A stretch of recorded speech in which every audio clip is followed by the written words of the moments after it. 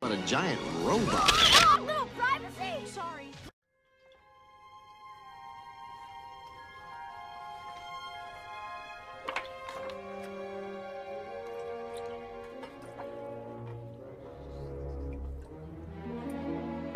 Are you okay in there, Mr. Mansley? I'm back with the toilet paper you needed. Thanks. I think I'm feeling better now. Much, much better. Does this ring a bell? No? How about this? Careless Hogarth. It doesn't prove anything. It proves that you're here.